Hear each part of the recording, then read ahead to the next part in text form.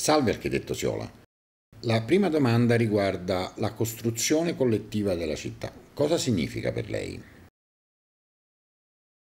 Ma diciamo è un atteggiamento teorico nei confronti dell'architettura che tende a evidenziare per ogni progetto che si viene a proporre un rapporto profondo con quello che esiste prima del progetto, cercando di determinare fattori di continuità con il passato e cercando di stabilire insieme al passato dei condizionamenti per chi viene a intervenire dopo, dopo di noi.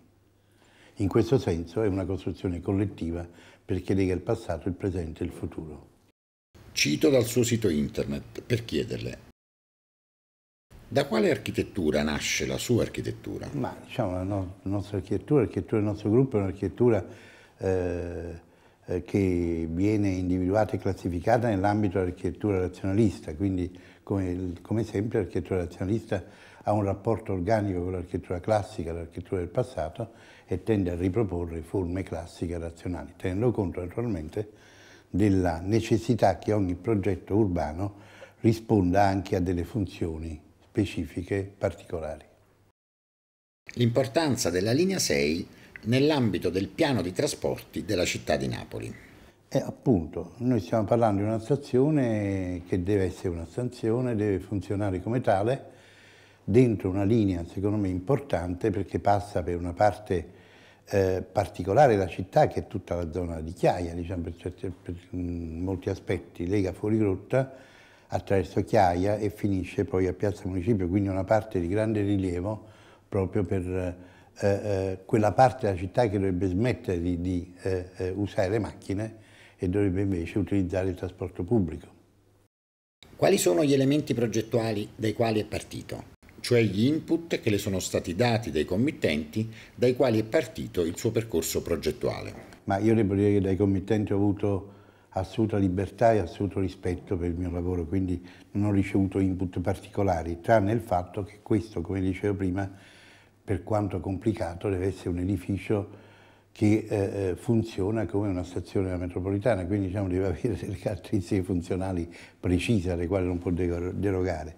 Naturalmente il contesto nel quale è stata chiamata questa operazione è un contesto complicato, perché in pratica noi, il nostro è un progetto di un edificio di 25 per 25 metri di lato, profondo 43 metri, tutto al buio, cioè tutto infilato nel terreno che ha soltanto un pozzo di luce in alto. Quindi un, un edificio progettato in condizioni difficili, diciamo, obiettivamente difficili, che è partito tenendo conto di tre fatti fondamentali. Uno, il fatto che eh, questo edificio, eh, nel punto in cui si trova, cioè all'altezza del ponte di Chiaia, realizza una condizione tipica della città di Napoli, cioè che è una città che spesso incrocia piani diversi, come il piano della sanità, per esempio il ponte della sanità e il ponte di Chiaia. Questo è un punto in cui ci sono due parti della città completamente distinte, la parte di eh, Monte di Dio, diciamo, e d'altra parte la parte di Chiaia. A questo edificio eh, abbiamo demandato anche il compito di raccordare queste due parti. Qui la prima parte dell'edificio, quella che lega la, la, piazza di Santa Maria degli Angeli con la quota di via Chiaia, è una parte che appunto è un edificio che attraverso un camminamento circolare eh, accompagnato da botteghe e quant'altro, lega la zona di, di Monte di Dio alla zona di Chiaia. Alla zona di Chiaia si entra nella stazione propriamente detta con i tornelli e attraverso un cubo, eh, eh, anche qui infilato nel terreno, un cubo che prevede delle, delle quindi rampe eh, sui quattro lati uguali, si scende alla quota della, eh, del ferro, diciamo la quota della stazione.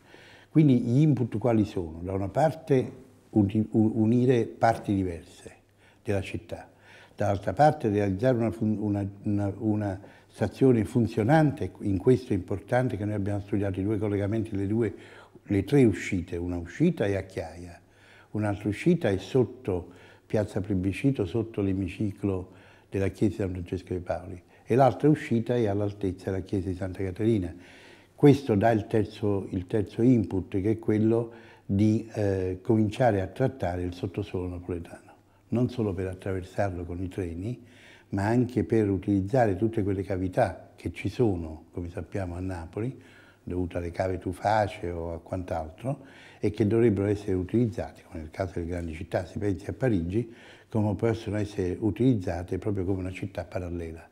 Quindi da una parte quindi, riutilizzo del sottosuolo, dall'altra parte legare parti diverse, d'altra parte tenere conto di, diciamo, di diffondere l'uso della stazione a più parti, queste sono, sono, le premesse diciamo, urbane. C'è poi un tema architettonico propriamente detto, che noi volevamo utilizzare la straordinaria luce di questa città per immaginarci un edificio pure alto 43 metri, quindi diciamo un edificio di 13 piani, illuminato solo dall'alto, di immaginare che dall'alto arrivi una tale massa di luce che possa arrivare fin giù.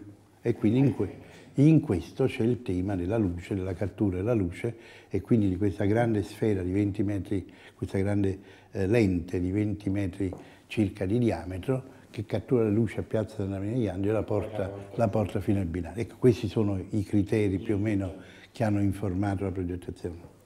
Anche se lei in parte mi ha già risposto, mi può descrivere brevemente il percorso della stazione partendo da Piazza Santa Maria degli Angeli? Ma partendo da Santa Maria degli Angeli si entra in questo edificio, si, si percorre una rampa circolare, secondo so, il modello per esempio del Museo Guggenheim di, eh, di Wright, eh, a New York, si, si, scende quindi facendo questo camminamento lungo, che dà su, sul vuoto, che prende la luce dall'alto e che sui lati ha botteghe, negozi, eccetera. Si arriva seguendo questo cammino, si arriva alla quota di Via Chiaia. Alla quota di Via Chiaia ci sono i tornelli per entrare diciamo, nella, zona, nella zona controllata, quindi a quel punto entrano sia i cittadini che vengono da Chiaia, sia i cittadini che sono arrivati da su. Entrano e cominciano a scendere scendono altri 30 metri, circa 28 metri, e scendono seguendo le pareti di questo cubo, che continua a prendere luce dall'alto perché è vuoto. Questo cubo, i quattro lati contengono le, le scale che portano, le scale mobili, le scale fisse che portano al piano del ferro. Un progetto come quello di una stazione della metropolitana è destinato a durare nel tempo. Quanto ha influito sulla scelta di materiali? influito molto, prima di tutto perché qui c'è un grande sforzo di carattere statico e strutturale, come lei può immaginare, che non è che si fa un buco di 40 metri di profondità al centro della città così, insomma, bisogna fare palificate e quant'altro.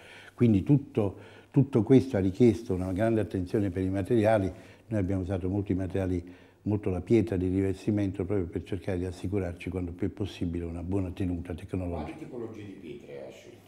Ma questo, noi siamo ancora in una fase, noi stiamo per affrontare il progetto esecutivo. La scelta di questi dettagli è demandata a questa parte che è appena cominciata.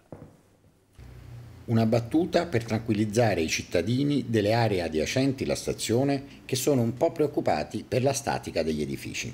Ma io non sono, diciamo, eh, autorizzato a dare di questi, di questi giudizi sulla, sulla, validità o meno delle preoccupazioni. Certo mi rendo conto che eh, i grandi cantieri pongono sempre qualche problema, però poi mi pare che questa città si sia ampiamente adattata a questi cantieri.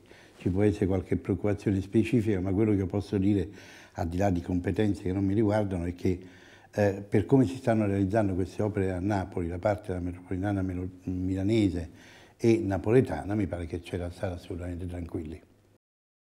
Il rapporto tra l'architetto Siola e la città di Napoli. Che significa per un architetto progettare un'importante opera pubblica nella città nella quale si vive? Beh, prima di tutto, anche se ho 70 anni, rappresenta un punto di novità, perché siccome nessuno è profeta in patria, non mi hanno mai fatto fare un bel progetto su questa città, quindi eh, ringrazio la metropolitana milanese di questa possibilità che mi è stata offerta. Insomma, ci misureremo cercando di superare la prova. Lei è stato assessore al Comune e deputato della Repubblica. Un consiglio ai napoletani. Di avere pazienza ma di svegliarsi e cominciare a parlare e, e a pretendere che la politica dia conto di quello che fa. Io la ringrazio, è stato molto cortese. Grazie a lei.